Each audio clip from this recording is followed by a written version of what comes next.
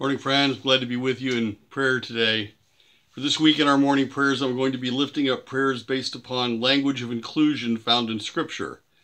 The prayers have been written by others as indicated. Let's pray together. May the God who created a world of diversity and vibrancy go with us as we embrace life in all its fullness. May the Son who teaches us to care for strangers and foreigners Go with us as we try to be good neighbors in our communities.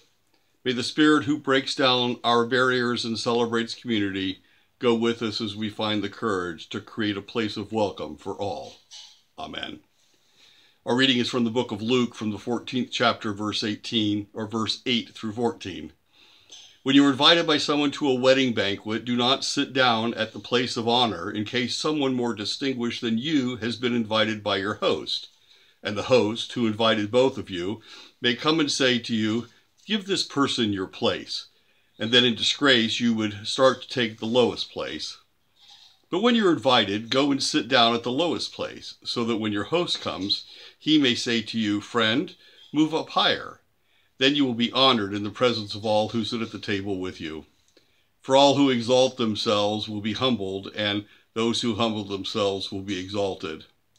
He said also to the one who had invited him, When you give a luncheon or a dinner, do not invite your friends or your brothers or your relatives or your rich neighbors, in case they may invite you in return and you would be repaid.